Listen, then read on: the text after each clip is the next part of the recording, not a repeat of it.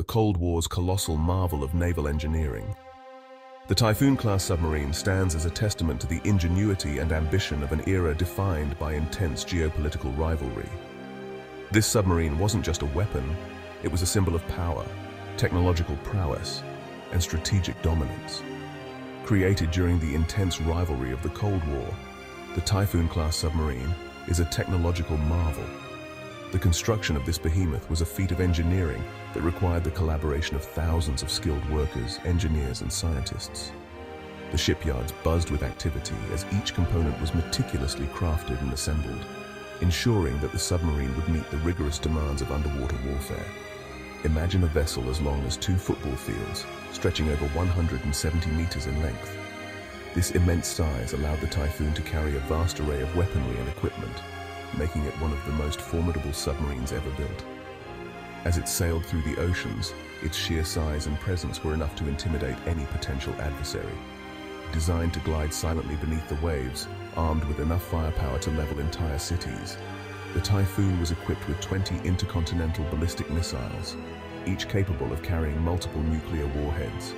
This arsenal gave it the ability to strike targets thousands of miles away, ensuring that it could deliver a devastating blow to any enemy. This behemoth wasn't just about size. Its stealth capabilities were revolutionary.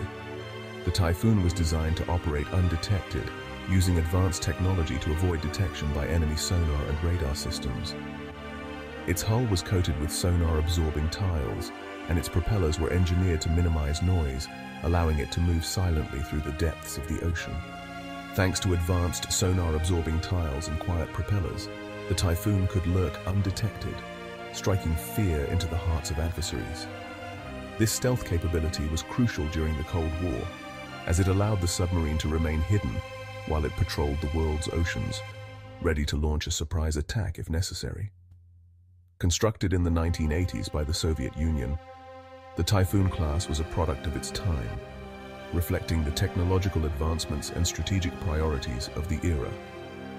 The Soviet Union invested heavily in its naval capabilities, seeking to match and surpass the United States in the ongoing arms race. The Typhoon was a key component of this strategy, providing the Soviet Navy with a powerful and versatile platform for projecting power across the globe. It was a symbol of naval supremacy, boasting groundbreaking technology like double-hulled construction for extra resilience. This design feature made the Typhoon more durable and capable of withstanding damage, ensuring that it could continue to operate even in the harshest conditions. The double hull also provided additional buoyancy, making the submarine more stable and easier to control. And let's not forget its role in the dreaded mutually assured destruction doctrine. The Typhoon was a key element of this strategy, which relied on the threat of overwhelming retaliation to deter any potential aggressor. By maintaining a fleet of these powerful submarines, the Soviet Union ensured that it could respond to any attack with devastating force, making the prospect of nuclear war unthinkable. This submarine could launch ballistic missiles from underwater, ensuring a second strike capability. This meant that even if the Soviet Union's land-based missile silos were destroyed in a first strike, the Typhoon could still retaliate, launching its missiles from the depths of the ocean.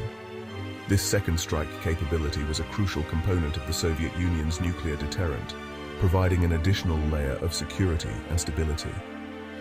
The Typhoon class didn't just redefine naval warfare, it left an indelible mark on military history.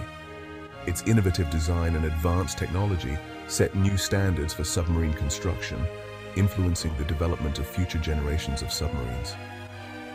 The lessons learned from the Typhoon's design and operation continue to shape naval strategy and technology to this day. It remains the world's largest nuclear submarine, a testament to human ingenuity and engineering prowess. The Typhoon's size and capabilities are a reminder of what can be achieved when nations invest in research and development, pushing the boundaries of what is possible. Its legacy lives on in the submarines that patrol the world's oceans today, carrying on the tradition of excellence and innovation. Whether you're a military history buff or just curious about the seas, the story of the Typhoon class is one of awe-inspiring power and innovation. Its impact on naval warfare and military strategy is undeniable, and its legacy continues to inspire and captivate those who study it. The Typhoon class is a story of awe-inspiring power and innovation. From its massive size and formidable firepower to its advanced stealth capabilities and resilient design, the Typhoon represents the pinnacle of submarine engineering. Its story is a testament to the creativity, determination and skill of the people who built and operated it, and it serves as a reminder of the incredible achievements that can be made in the pursuit of technological excellence.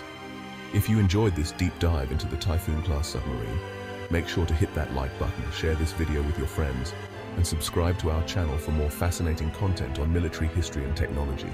Thanks for watching and we'll see you in the next video.